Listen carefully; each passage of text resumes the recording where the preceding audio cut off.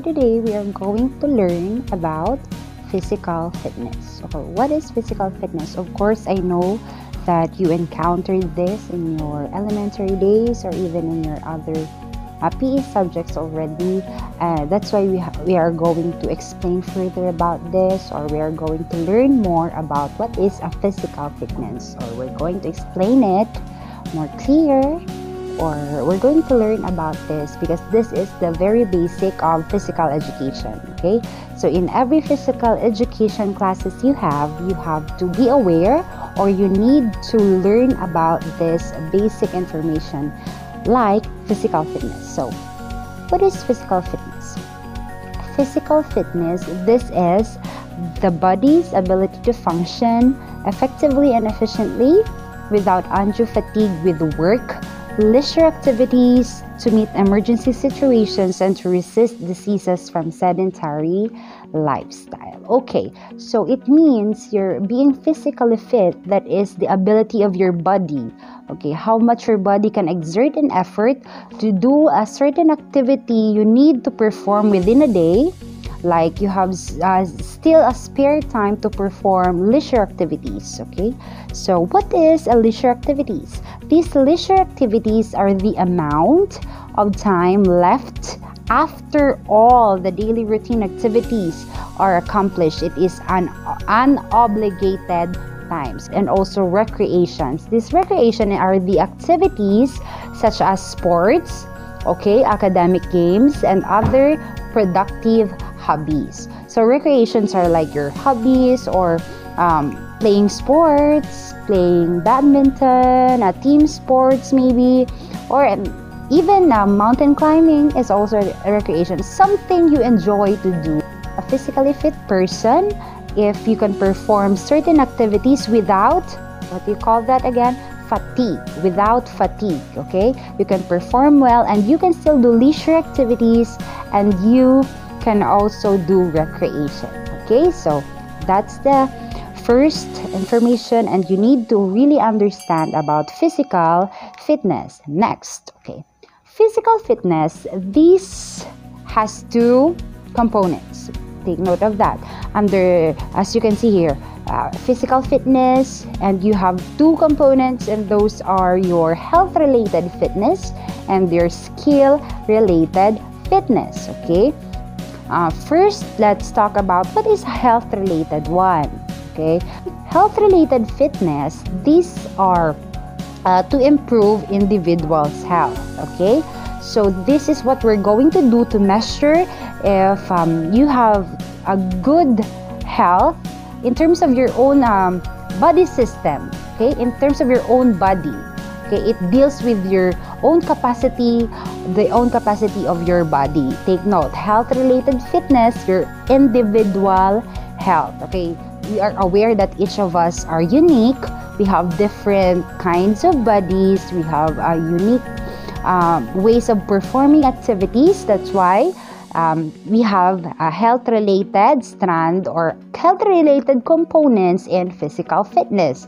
So, your muscular strength is one example in measuring your health related fitness. Okay, first, your muscular strength is defined as the maximum pull or push that can be exerted one time by a muscle group. Okay, for example, you performed a certain activity and you give your very best using your muscle to perform that activity. That is considered considered as muscular strength. So what are the example activities when we are measuring a muscular strength? That is a push up or a pull up, right? As you can see in our definition a while ago, pull or push right? So that is a muscular strength. I hope you understand that. Okay, there are underlined words here that you need to take note and you need to be aware of in order for you to understand well the uh, terms we are discussing. Next, cardiovascular endurance. This cardiovascular endurance is the ability of your lungs, okay, take note of the terms Cardiovascular is the ability of your lungs, your heart, and blood vessels to deliver adequate amount of oxygen to the cells to meet the demands of prolonged physical activity. In order for you to perform uh, prolonged physical activity, you should have a good cardiovascular endurance. So, when we say cardiovascular endurance, take note of the word lungs, heart, and blood vessels. And of course, since we have the word endurance, that will deal of a time. Okay, how long can you perform well? How long can your cardiovascular system perform as you do a certain activity? So first, a while ago, we have muscular strength, we have cardiovascular endurance, and now we also have flexibility. So what do we call a flexibility? Flexibility is the ability of the muscles and joints to go through a full range of motion. Okay, as you can see in the picture, that is an example of flexibility.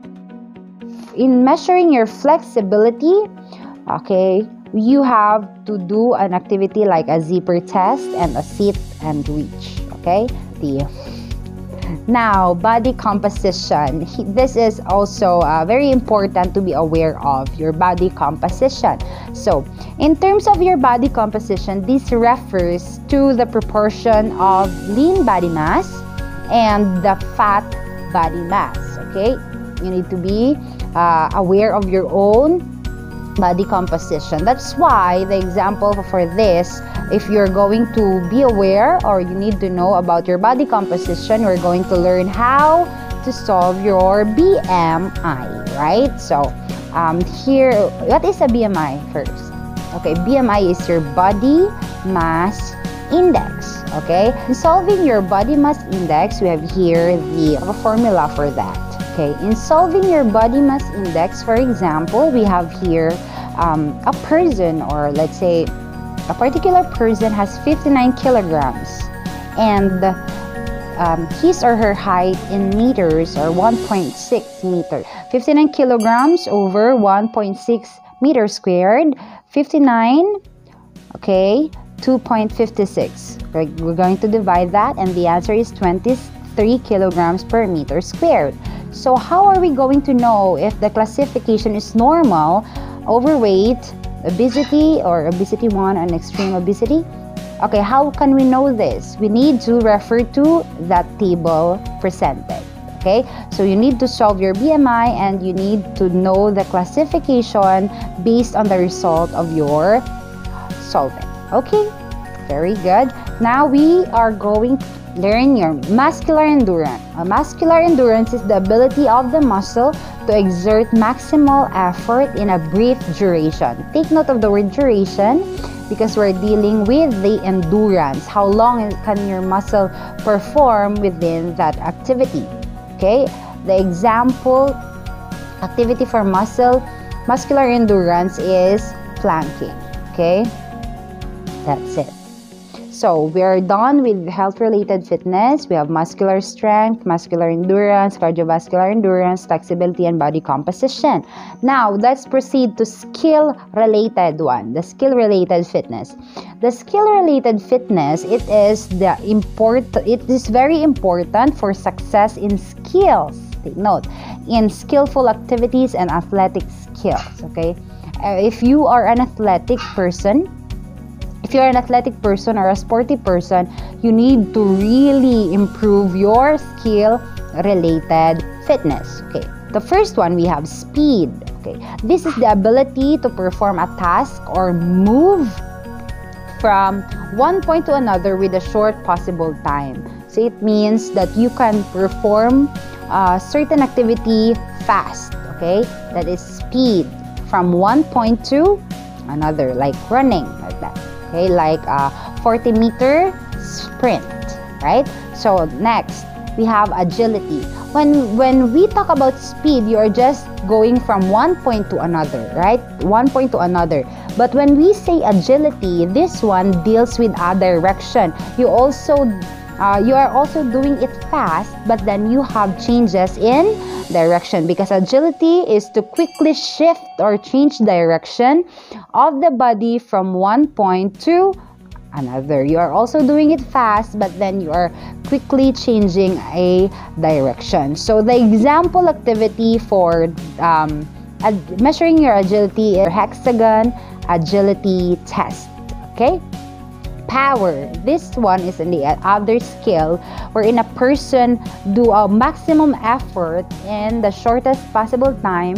It's the product of both strength and speed. Okay, when you combine the strength and the speed, that is your power. Okay, wherein you are doing it um, in a maximum effort in the shortest possible time. So you're doing it once. For example, you're jumping, right? It's a long jump so that is also an example of power because you're combining your strength and speed. Balance is the ability to stay in equilibrium in relation to changes in body position. Okay, we have this too static balance, and we also have dynamic balance. Your static one is demonstrated in stationary position, it means you're not moving while your dynamic balance this is uh, you're measuring this um, demonstrated while the body is moving okay? So reaction time. Reaction time is the amount of time it takes to respond to a stimulus. So how long can you respond or your response to a stimulus okay? That is your reaction reaction time. So you can measure your uh, reaction time through an activity called the stick drop test okay? So that is an example of measuring your reaction time. So when we say coordination this one this is the integration with your hand uh, or your foot movements with the senses. The integration with your hand or foot and with your senses. But then your senses are also uh, being used with the help of your hands and your feet, right? So the example for measuring your coordination is uh, juggling. We're gonna uh, like when you're juggling, so that is uh, paper juggling or the stick flip okay? Stick flip is an example activity to measure your coordination skills okay? Let's review. So your health related fitness are muscular strength muscular endurance cardiovascular endurance flexibility body composition but when we say skill related fitness, that is your speed, your agility, your power, your balance, your action time, and coordination. So you need to be aware about these things and always take note their um, keywords in order for you to understand these terms in physical education. So thank you so much for listening for today. I hope you've taken down notes and you've learned something from our discussion and hope to see you again in my next video. Please don't forget to subscribe on my YouTube channel and I'm very happy to talk with you. If you have questions, just drop it down below and I am very happy to communicate with you all. I am very happy to uh, discuss to you about physical education topic, okay? that is our topic for today about physical fitness. Thank you so much for listening. God bless.